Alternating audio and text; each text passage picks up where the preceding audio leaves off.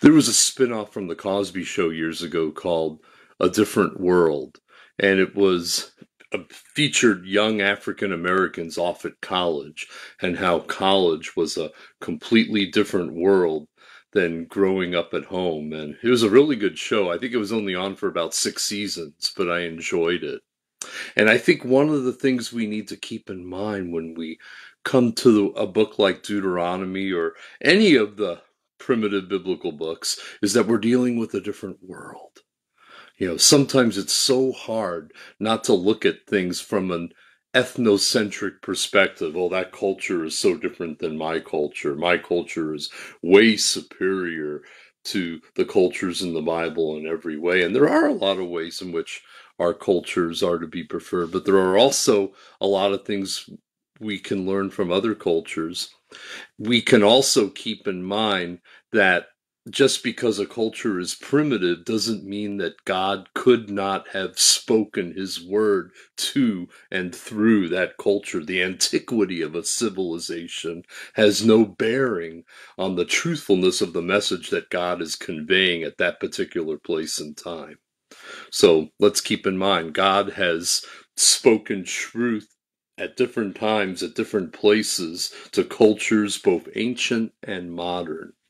And here in Deuteronomy chapter 23, we see some laws that are familiar and we can relate to them, and others that are completely foreign. We have to remember it's a different world, and God is accommodating his revelation to a people living in a different, very different place and time.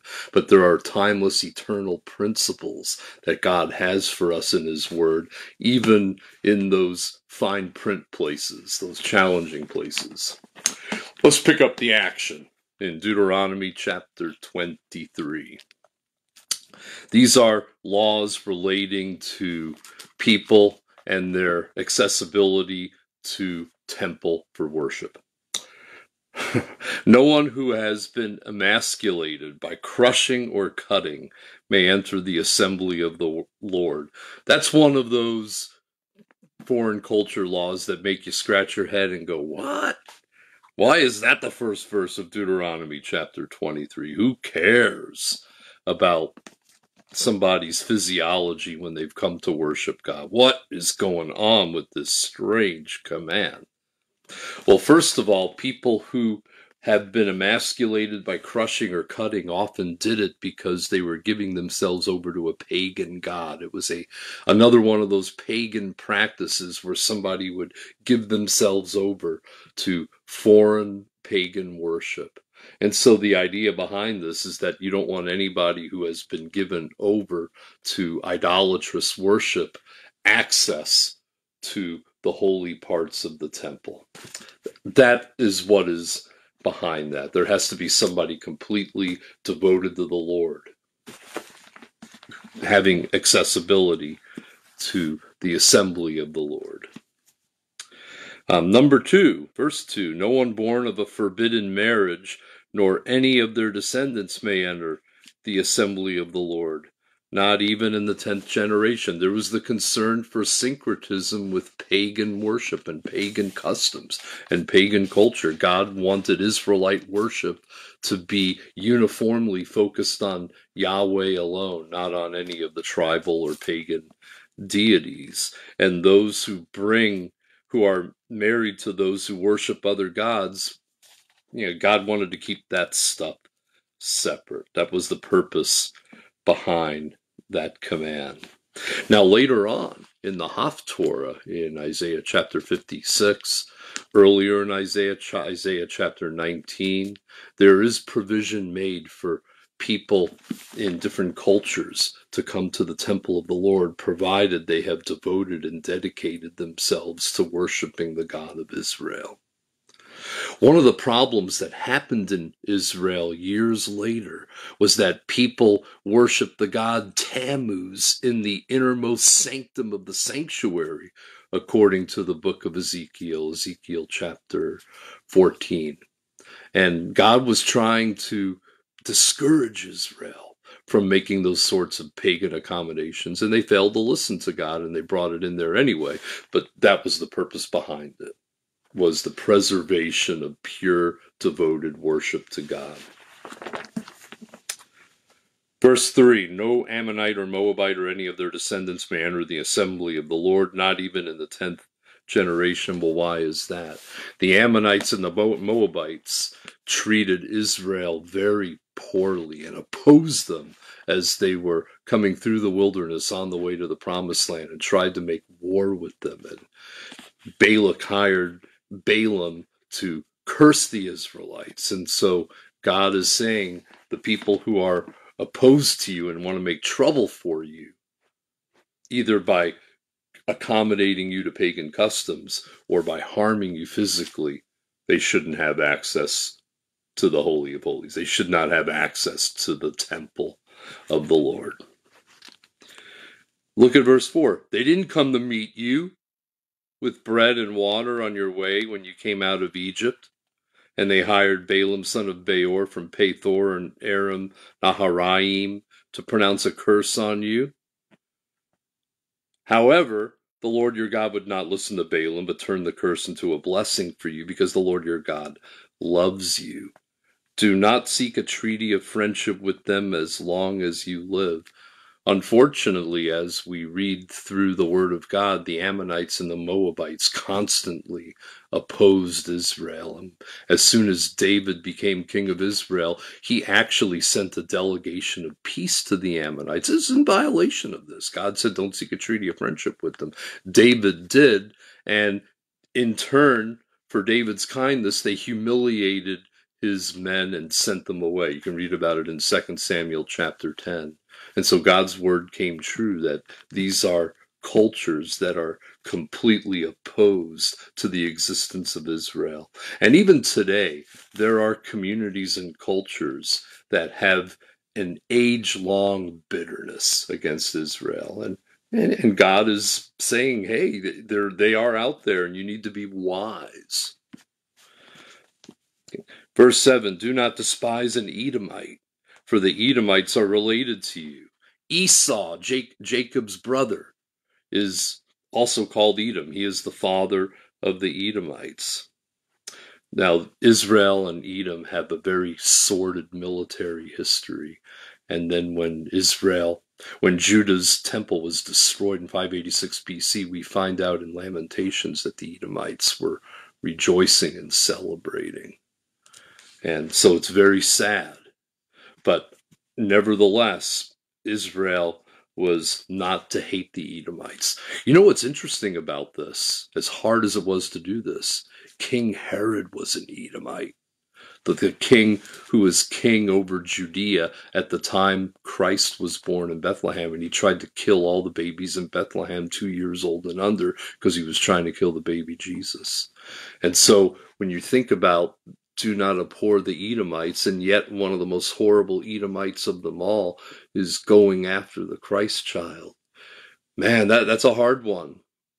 But I think in that particular instance, the Holy Family did what was right, and they got out of Judah and escaped to the land of Egypt until Herod died and was replaced by his son Archelaus. That was the right thing to do. Matthew chapter 2. But you certainly can see that there's a historic thing going around here. Do not despise an Egyptian, because you resided as foreigners in their country. You know, they were there for over 400 years. And, you know, we have to, sometimes after we've been with somebody for a while and we're no longer with them, it's tempting to want to harbor a grudge because you're no longer with them or they're no longer with you. But with the help of God, we can remember the fact that they we were with them for all those years. And you know, I did not always get along with family members growing up, but I grew up with them all those years. They took care of me for all those years. You can't hate people who love you and took care of you, even if you did have some bumpy times, right? I think that's a takeaway from this passage. Don't hate the Egyptians. You were there for over 400 years. It got bad toward the end, and I pulled you out of there. But don't hate them. In fact, we find out later on in Isaiah 19 that there's a place in the world to come for all Egyptians who turn to the Lord. And that's true. There's a future for the man of peace. Psalm 37 37. There's a future for anyone and everyone who turns to the Lord. All right, now we move on to uncleanness in the camp. Verse 9. When you are encamped against your enemies, keep away from everything impure. If one of your men is unclean because of a nocturnal emission, he's to go outside the camp and stay there. Soldiers who were in the military had to be totally devoted to God and the mission that he had them on. That's the, the purpose behind those laws. And there were there was ritual uncleanness until evening for something like this. Now, our uncleanness is completely taken care of once and for all through the sacrifice of atonement of Jesus Christ on the cross. But without that, you could become, before Christ, people became unclean just about every single day by something they did or something they said or something that was done to them. Verse 12 designate a place outside the camp where you use the facilities and you know we know that. As part of your equipment have something to dig with. Like i said i called this chapter a different world right? You know they're living in the wilderness. They need to have rules for cleanliness and sanitation in the wilderness when you got that many people. Verse 14 for the lord your god moves about you in your camp to protect you God wants to protect the people. That's the purpose behind these pieces of legislation. He wants to protect them spiritually so they don't have people devoted to pagan gods worshiping alongside them in the temple to the true God. God wants to protect them militarily from people who would do them harm, and he wants to protect them sanitarily. Your camp must be holy, so that he will not see among you anything indecent. And now we move to verse 15. If a slave has taken refuge with you, do not hand them over to their master. Let them live among you wherever they like in whatever town they choose. Do not oppress them. Remember the book of Philemon? Philemon escaped from his master, um, um, and Onesimus, and he came and and took refuge with Paul. And Paul was going to send him back to Philemon, but he was sending him back as a brother. He was discouraging him from taking him back as a slave. And we see precedence for that right here in the Torah. And the reason why is they should know what it's like. They were slaves for over 400 years. And since they were able to get their liberty, they should honor somebody else wanting their liberty. We see that in the Old Testament. There, there is legislation regulating slavery, but there's a forward progression in the Word of God toward liberation rather than oppression. And then we move to verse 17. No Israelite man or woman is to become a shrine prostitute. There was in pagan religions, and this is another reason why God doesn't want pagan worshippers alongside worshippers of Yahweh in the temple of God. There were pagan prostitutes who would practice prostitution in shrines and give a large number of the proceeds over to the shrine, and that's how they got money. And God is saying the people of faith, the worship of God should not be funded by sin. Don't bring the earnings of a female prostitute or a male prostitute in the house of the Lord your God to pay any vow, because the Lord your God detests them both. Jeannie and I were watching an old episode of Good Times. That was a TV show from the 1970s. And the father had returned some money that had been lost at the grocery store that he had found, but he kept $2,000 for himself because he was pretty sure the grocery store was not going to give him a reward. And Florida, his wife, wanted James to give the money back. And then the pastor came over and Florida said, Well, my husband wants to keep some of that money. Is it right for him to do that? And the minister said, Perhaps. and then another person said, Well, shouldn't he give it back? And the minister said, Perhaps. well, wouldn't that be the right thing to do? And the minister said, perhaps. And JJ says, if he says one more perhaps, I'm going to go crazy.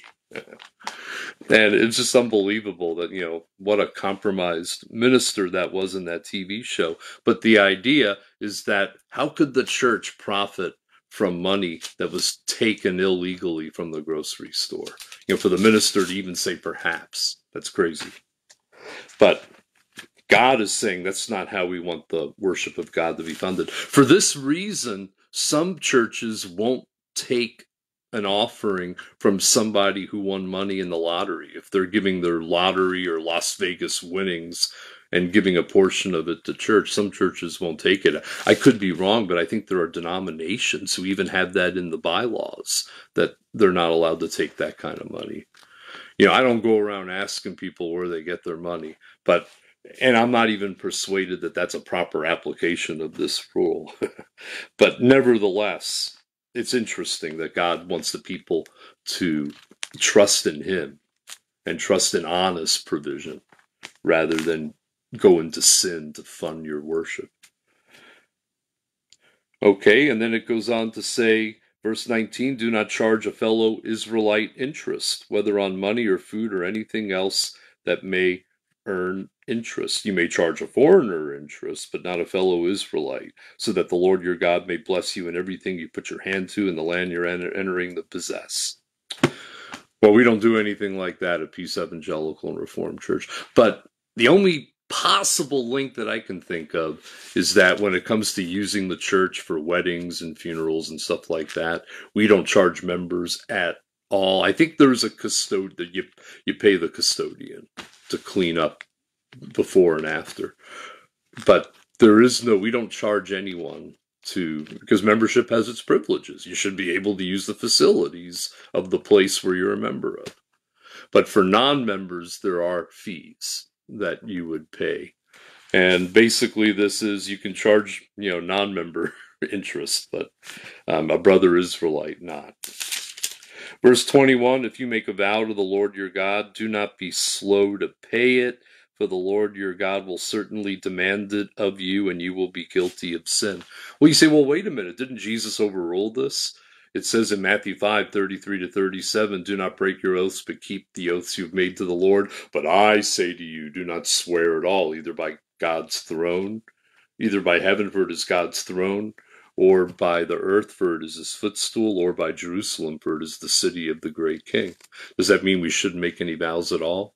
Not necessarily. It means that you shouldn't have to make a vow because you're saying you're going to do something should be good enough. I think that's what that what Jesus is saying. You shouldn't even have to make a vow. You, when you when you tell somebody you're going to do something, you shouldn't have to say I swear. You should just keep your word. However, if you do, it says, don't be slow to keep your promise. Verse 22 If you refrain from making a vow, you will not be guilty. I think you're farther ahead to just keep your word and not make a vow. Verse 23 Whatever your lips utter, you must be sure to do, because you made your vow freely to the Lord your God with your own mouth. Now, that could be taken out of context. You remember in Judges chapter 11 and 12 when Jephthah made a stupid vow?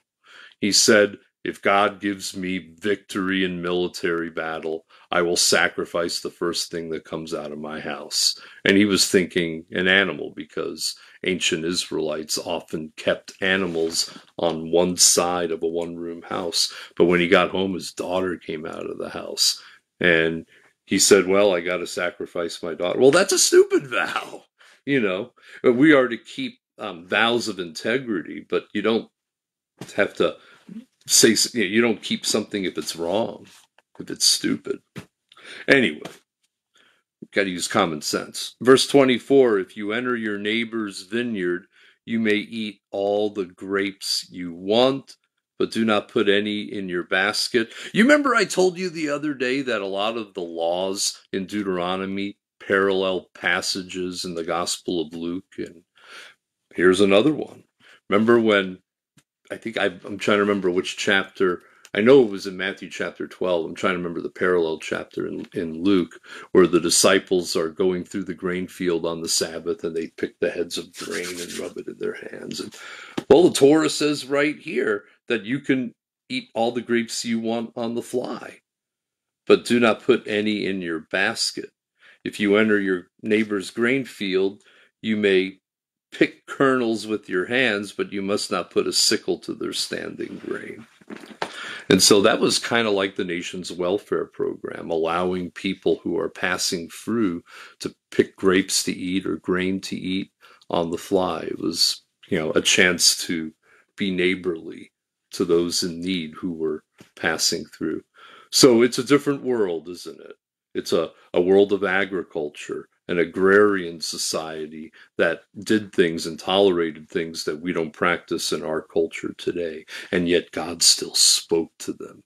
God provided for them. He gave them His word to protect them spiritually, to protect them militarily, to protect them sanitarily and to give guidance. Everything God does is for our good. We may not understand it, and sometimes we have to take off our 21st century glasses and try to read the text as if we were living in that particular culture at that particular time. But everything God does is for our good. He sent Jesus for our good to die on the cross for our sins and rise again. And if you repent of your sin and put your faith in Him, He'll wipe out all your sins, give you eternal life, and he will be with you always, even to the end of the age. Jesus loves you. This I know, for the Bible tells me so. You guys have a wonderful day. We're praying for all those who are battling COVID in our particular parish community. We had people, a lot of people who had COVID last year. We have a lot of people who have gotten COVID at this time of year and it's interesting. It's not that it's different people. I, I, we don't. I don't know of anybody who has got who had it last year at this time and now has it this year at this time. But still, it is not to be taken lightly, and we need to pray to God for His presence and healing power, and pray for all the doctors and the staff who are ministering to them, and pray that people will do all that they need to do to keep themselves safe. Jesus loves you. This I know, for the Bible tells me so. Have a great day.